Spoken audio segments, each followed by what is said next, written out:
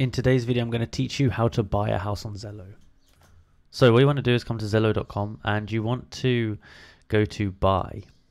Now, when you go here, you want to click where you want to buy. So let's say we want to go around here. This is going to show us all the different ho homes in this uh, area that you can get.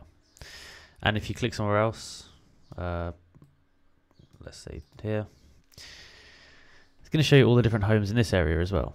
So this one here, this house here, $385,000. We can click on it. Now, on the left, you can see all of the different rooms and what you get inside the house. It also tells you the pricing, the price per square foot, the agency fee, and all the other features of the house. Now, you can click here and press request a tour. Now, you can get two tours, a video one or an in-person one. Pick which one you prefer. And you can pick the date and time.